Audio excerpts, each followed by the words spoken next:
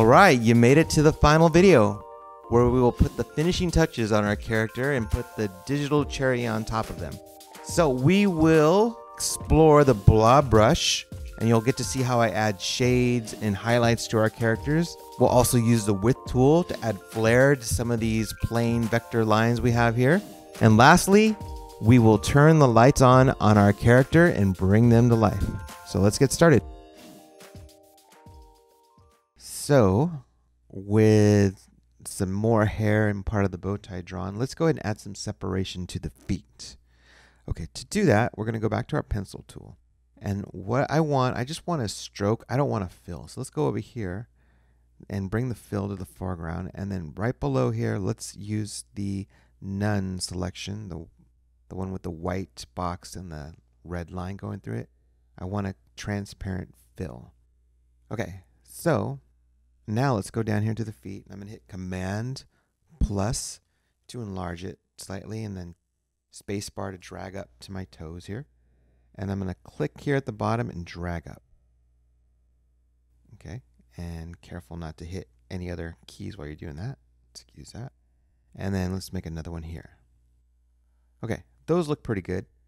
Let's make a couple of tweaks. Let's go to Select Tool and let's go ahead and click and hold shift to click both of our new strokes here. And then if you don't have the stroke, I'm going to go ahead and close this so we can find it if you don't have it open. Go to Windows and select stroke. And it's the same thing that we had previously, but we have more details here in this panel. So if you're not seeing this, and your options are hidden, go to this little flyout window on the right and click show options because we want to access this stuff down here. We need some options here. So what I want to do is I want to adjust the cap. Right now I have a straight line at the end, which shows here. And we have three options. We want to go to the round cap right here in the middle. So we're going to switch from a flat cap to a rounded cap. And in doing so, if I declick, you can see my corners are rounded. I'm going to click Command plus, get a better look, and you see I have rounded corners now. However, it expanded the width of our stroke, so we're going to go ahead and just click this up or drag it however you want. And that looks good. Just going to quickly get my direct selection tool so I can get my control panels. Whoops, grab the wrong thing. Click Command Z, no big deal, undo. There we go. And I'm going to just give this a little bit more curve. That looks good. All right, I'm going to shift drag to the other foot. Hit N to go back to the pencil tool. And then we're going to make some more separating lines here. And another one there. So this time, when you draw with the pencil tool, sometimes if you draw a little quick like I did, you'll get this little, you'll get a couple extra anchor points that maybe you didn't intend. Just go to your direct selection tool by either clicking it or pressing A then select that point you you want to remove. And when you see it darkened and the other one's light, just hit delete. And we just quickly got rid of that. This one's hanging over, so I'm going to select it and then hit the arrows to just move it around. That looks good. And to quickly zoom out to see everything on our page, hit Command 0 and we can go back to our original starting point. Looks good. Now let's add some eyebrows. So go back to your pencil tool and up here at the top, just above the eye, and you can command plus sign a couple times and then drag your thing to the center so you can get a better look. Click and drag to about the middle part of the eye. Let's do it over here again. Click and drag to about the same amount down. If it's not exact, no big deal. All right. So now the bend is a little bit weird, but that's fine. I'm going to leave it like that. I don't mind it. So I'm going to command plus, and we're going to go to a new tool now to add a little bit more character to these eyes. So what I'm going to do is I'm going to come to this toolbar and I'm going to come about three quarters of the way down just below the eyedropper tool to what's called a width tool. So with that selected, with our width tool selected, let's go ahead and click and drag down slightly. You might have to angle it depending on how the angle of your anchor point. And you can see how it's expanding the width of our eyebrows. And when you get to a width you're comfortable with, let go. That looks good. So what that did is that it's enabled me to get and expand the width of the stroke at certain at particular anchor points that I clicked at and it tapers down to the ending anchor point. So it's the original width here and the new expanded width there. I could come in here and add more or decrease more and make a more interesting shape, but I like the way it kind of gradually tapers here. So let's just hit Command, toggle to our Shift key, and select the other eyebrow. Release, we're still in the width tool now. And I'm going to click and drag, and you got to kind of be careful. This tool can be a little bit finicky.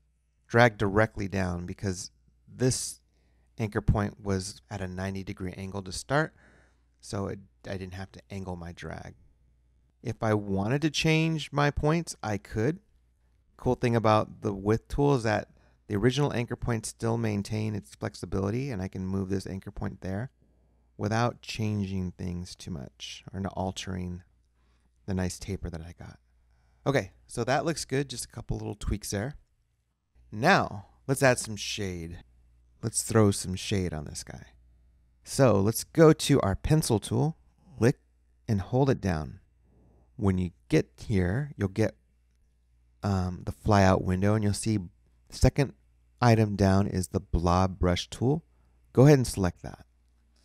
So different than a pencil tool, which draw would draw a million little points to make a line. And if I just experiment with it, this is going to make a simple shape out of whatever I paint. So if I go ahead and select this, it only makes the path around and it clipped out where I didn't pass. So the white spot where I didn't, it didn't clip it. If I did this with a pencil tool, there would be a bunch of points spiraling around and there'd probably be more white space. But with the blob tool, it's a nice tool to just make really quick washes of color that I can then go quickly and ch just change the fill of. So I like to use that for making shades and stuff like that. So let's go ahead, reselect the blob tool. And then also the cool thing about it is it works like a brush. So I can hit the bracket keys to either enlarge or reduce the size of my brush strokes. So for instance, if I hit the left bracket key, I'm going to get a smaller stroke. If I hit the right, I can keep tapping until I get the width that I want. So I'm going to just start here at the head. I'm going to tap down to about this side. And I'm just going to just carefully try to drag a shape in there.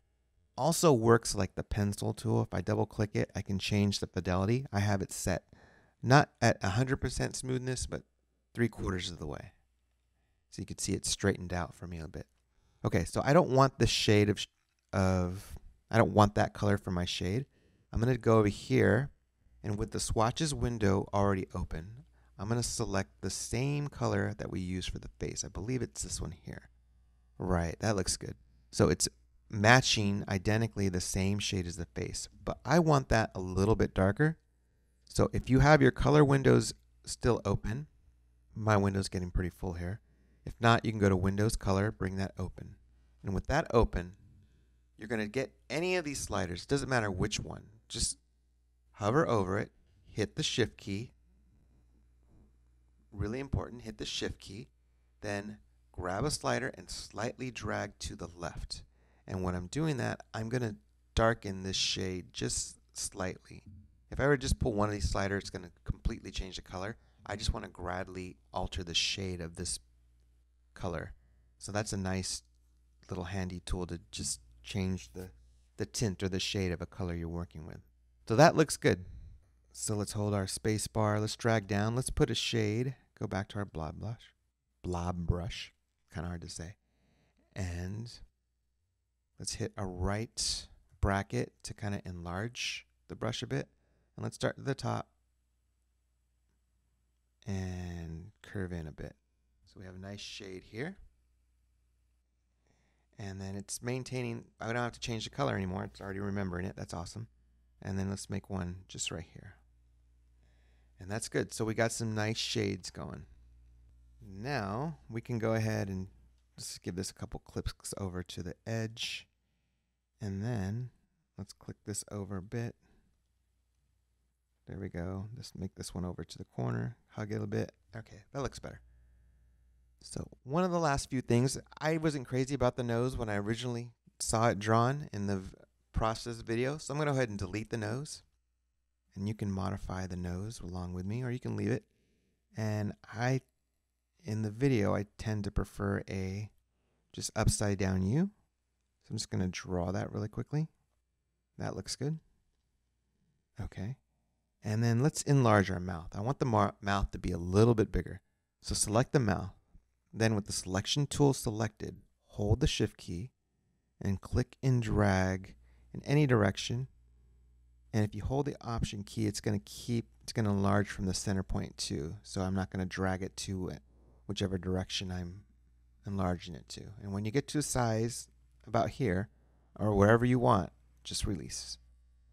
And then tap it down with the arrow key.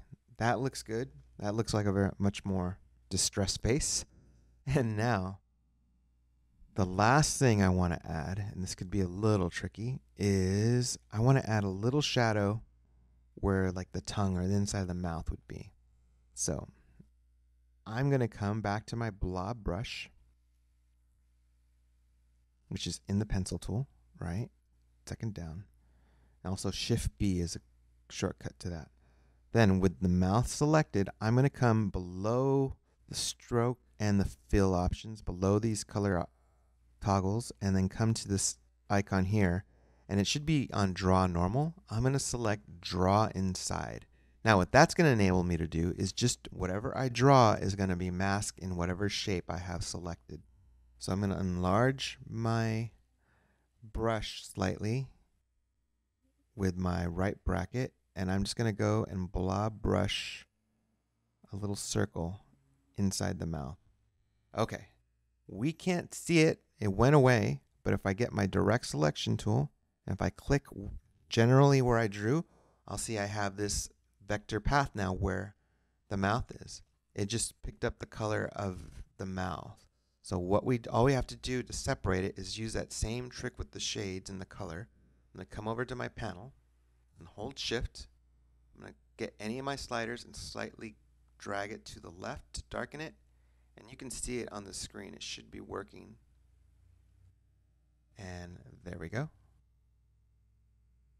That might be a little bit too dark. If it's too dark, just go back. Select that color. Hold the shift key and drag to the right. Now we're going to lighten it. Okay. That looks better. And the last thing I want to do, uh, let's remove the stroke from the mouth. Let's go back to change our drawing modes from draw inside to draw normal. There we go. Now we can select the mouth and select it again. Let's get rid of the stroke. There we go. Zoom out. Let's delete this stuff here.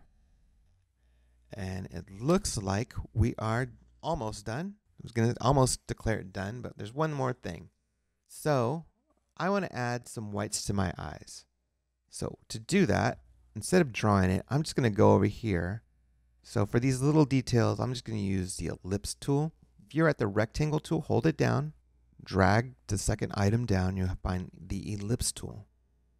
Okay? Come inside the eye, then click and drag to the bottom right and if you hold the shift key, it's going to constrain your your ellipse to be perfectly symmetrical, or you can let it be a little bit oval. If you want a perfect circle, hold the shift key. Let's go back over here to swatches. Let's select the foreground and let's take the lightest of our yellows. Any one of them will work. Toggle between the two. Let's cancel that. Okay, so when you have your colors selected and your pupils, the white of your eyes in there, you can maybe reduce that if you want. That looks good. Okay, select it, hold the shift and the option key, click and drag that pupil over to the eye in probably about the same general area. Release, and that enables us to make a copy and keep it in line with the other eye and hit zero to zoom out. Hit tab to just hide your panels. And there we go. We have successfully created our character in the same, not identically, but the same general idea of what we created in the previous video. So when I create these characters, again, I don't spend a lot of time worrying about details. I kind of just let them happen from the sketches to digitizing. And I, when I get it all set, I kind of add and remove things as I like. And I don't worry about it being perfect. And when you do that, sometimes you get some pretty unique results. So I hope you enjoyed this video and I hope to put up some more very soon.